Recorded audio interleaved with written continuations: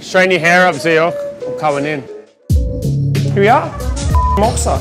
Indian fried. Is that what we're doing today, Zeok? Indian fried chicken. He says. Uh, I don't need this. I've got, I've got one here. Does this work, or is it a prop? Is that tandoori chicken? Is that fermented? tandoori chicken that I normally have here that is marinated for about two weeks in a variety of different spices that I pull out of India, as well as the yogurt that is made here in house. This gets a pre-brine first before it goes into the actual marinade. That Okay. makes it so that it can hold on for for quite a long time. It could be two weeks, three weeks. I've gone as far as four weeks. So hang on, wait. How old is this chicken then? This is this is a couple weeks. This one is on two weeks right now. So what's in here? Right now, uh, water and flour. So it works as an adhesive to pull in all the breadcrumbs that is colored through red beet powder, and with a little bit of panko on there to give it some spikiness.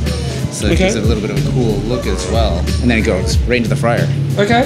What kind of what kind of temperature running there? About 150? 160? All right, that's, that's, that, that checks out. I remember when, when I was young, we used to make paper mache and we'd make the glue out of, of flour and water. So there you go. Some science I learned at about five years old and, and Zed's using it here at Moksa. Making some tandoori fried chicken and I can't wait. TFC. TSC. All right. It's uh, spinach, kale, and watercress. Okay.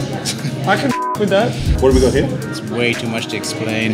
Smoked cheddar, parmesan, bergkäse, different spices going into that. Boiled then, uh, warmed up rather in a goat bone marrow broth. A masala paste that's made from dried, sun, well, sun-dried tomatoes, uh, lime juice, a whole bunch of different spices, some garlic, some ginger. Perverted. Listen to this. We got to get some of that on there too. Oh. Listen to it. It's going, oh. That's so sexy right there.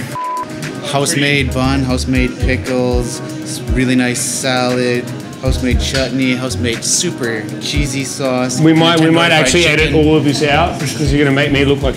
I'm dripping at the thought of ever eating this monster. Look at this fried chicken. He's got some kind of three cheese sauce going on. It's like got four different types of cheese in this song. Perverse. Perverse. I'm gonna eat it. it. Isn't that crunch? Man, that is without doubt the crunchiest fried chicken I've ever had in my life. It's that crunch. The chicken. The crunch. How is it still crunchy? How much science is in this chicken? In science, You know that just um, science, science that got put in a sandwich and, and we'll just bang it out.